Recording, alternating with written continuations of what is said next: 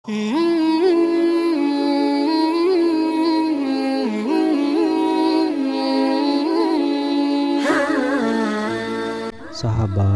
dusta adalah hal yang dilarang oleh agama. Namun, ada hal yang mendapat pengecualian.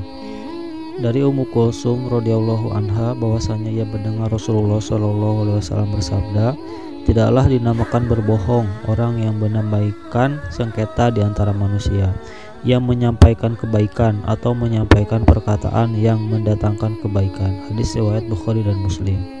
Dalam riwayat Muslim terdapat tambahan bahwasanya Ummu Kulsum berkata, "Saya tidak pernah mendengar Rasulullah SAW memberikan kemurahan dalam masalah ucapan manusia kecuali dalam tiga hal. Pertama dalam hal keadaan perang, kedua mendamaikan sengketa manusia, ketiga mendamaikan suami istri."